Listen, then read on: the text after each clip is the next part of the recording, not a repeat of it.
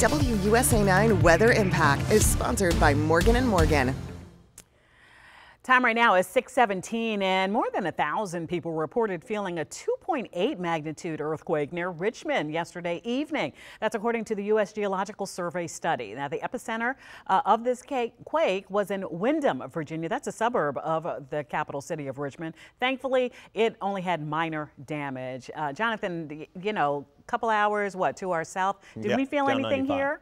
Uh, nothing that was reported to us, although you saw on the map there are a couple little uh, circles, little markers right around Fredericksburg and also Culpeper. So potentially maybe a couple of folks are reporting to the USGS uh, about this. But uh, we didn't have any reports here at WUSA 9. But of course, we will keep our eyes peeled and our ears peeled for anybody that uh, might have seen or felt anything. So if, of course, you have felt anything, just go ahead onto my social pages, let me know.